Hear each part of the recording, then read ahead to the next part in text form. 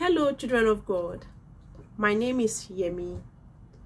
In a vision, I saw someone who was about to sit on a chair.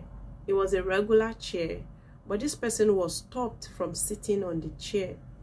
Instead, she was taken to another chair, you know, that looked more sophisticated, more luxurious, you know, the type of chair that's that is used in the palace, that kind of chair. There is someone that the Lord is going to elevate. The Lord has prepared a place for you.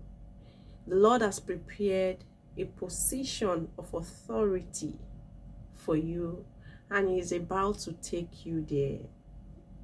This position might look impossible, it might look bigger than you. You might even think that you are not qualified, and yes, you are not qualified for it.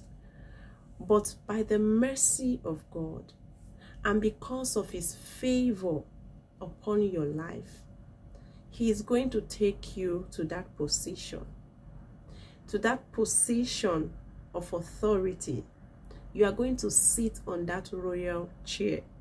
You are going to sit in that position, that position of leadership.